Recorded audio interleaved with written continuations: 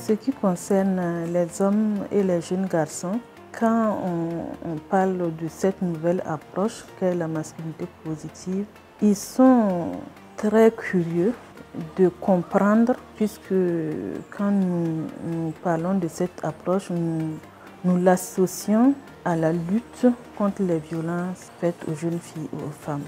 Et cette nouvelle approche, ils adhèrent vraiment à l'idée de travailler et d'être dans l'optique de cette masculinité positive parce que ça permet de baisser les violences domestiques dans les foyers et dans les établissements. Au quotidien, quand je suis avec des amis, j'essaie de, de expliquer un peu le concept de masculinité positive et les avantages liés à la masculinité positive.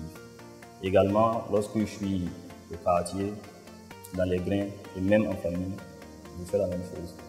En termes de renforcement, nous avons reçu de notre partenaire l'UNFPA des séries de formations.